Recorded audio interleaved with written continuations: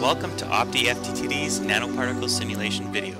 In this video we calculate the transmission spectrum of a gold nanoparticle using the finite difference time domain method.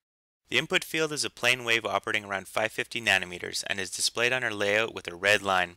There are also two green lines which represent observation areas and one small green dot representing an observation point. We will start the simulation using our 64-bit calculation engine. During simulation in 64-bit mode, the user only sees a progress bar. This allows us to cut down on CPU and memory overhead, which is critical for running larger designs. Let's now switch over to the 32-bit mode where we can observe real-time field data. There are a couple different options for viewing the real-time data.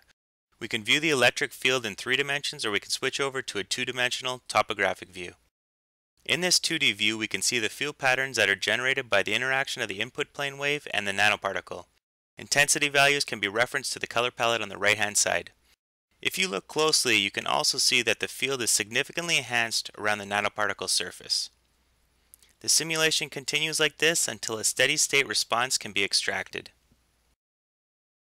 We'll now go back over to the 64-bit simulation where our calculations are just finishing.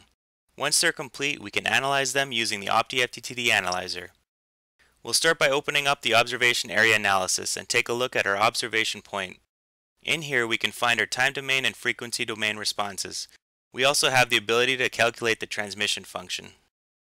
Jumping over a tab we can look at the two observation areas.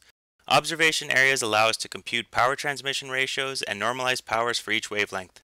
We can also analyze each field component individually. And finally, we can calculate the power transmission spectrum for our nanoparticle.